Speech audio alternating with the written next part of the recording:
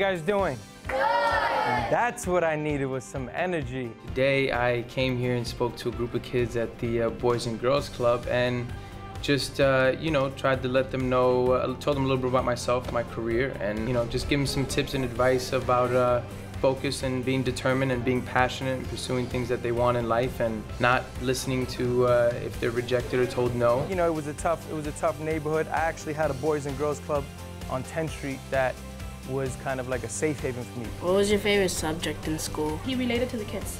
A lot of people come in here and they talk, and yeah, the kids are interested because it's someone famous, uh, but they don't necessarily relate. So I think the fact that he played basketball and he did the trick and he talked about college and he talked about playing ball, it just made him relatable. Like, oh, I can do that. And if one kid or two kids actually really listen and take something from it, I feel like that's uh, that was totally worth it. All right, guys, let's, let's give them one big round of applause.